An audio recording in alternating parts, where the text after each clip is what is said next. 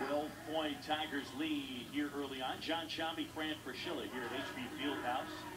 The Old Spice Classic still to come. It'll be Oklahoma and Gonzaga. Winner that one will take on Davidson in our championship game on Sunday. There's that triangle again. Hall aggressively to the rim. See, when you're playing three on three, you've got a lot more space for a guy like Hall to drive. And that's essentially what that possession was. Tigers are perfect. Six for six from the floor. That was their first two-point field goal.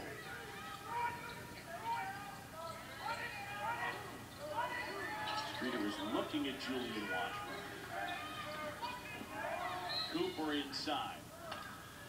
C.J. Cooper will go to the line. He will shoot two. They get that foul on T.J. Sapp.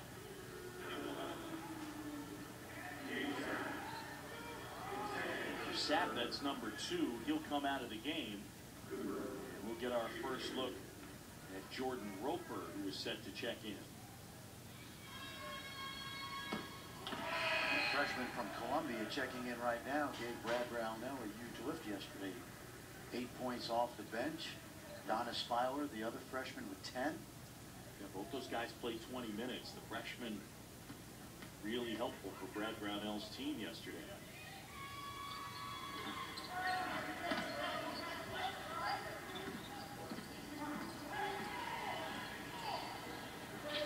See, let's see what happens in the middle of the floor because you see in each corner they're being guarded man to man. So it's three on three in the middle of the floor.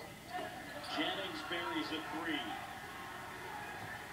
These are the shots Oklahoma did not make last night.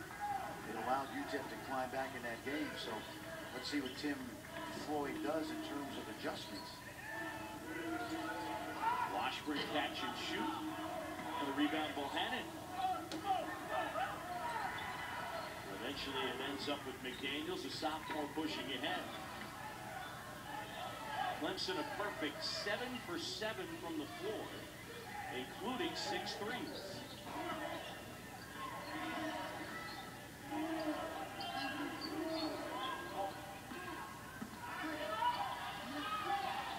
Booker will try. And first miss of the game for the Tigers. You don't want that three-point shot from Booker and Jennings to be fool's gold right now. Julian Washburn finding his brother Chris. Chris back to Julian. And that one way off. That's one area where Julian Washburn, he's really athletic, John, but he could really work on Turnover there. UTEP the other way. Second turnover on the Tigers.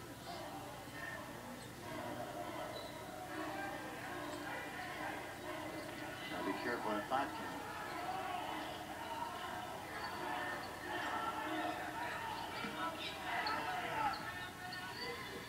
Cooper now.